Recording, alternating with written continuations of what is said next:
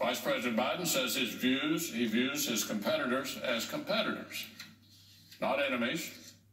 And he's been able to cultivate many unlikely friendships across the aisle with Jesse Helms, with Strom Thurmond, with me. Obviously, I don't always agree with him, but I do trust him implicitly. He doesn't break his word. He doesn't waste time telling me why I'm wrong.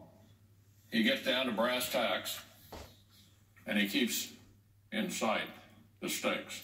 Here's a man who's known great joy, who's been read his last rites, and who's never lost himself along the way. Champ, his father used to say, the measure of a man is not how often he is knocked down, but how quickly he gets up. That's Joe Biden right there.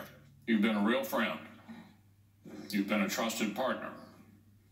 And it's been an honor to serve with you. We're all going to miss you. Godspeed.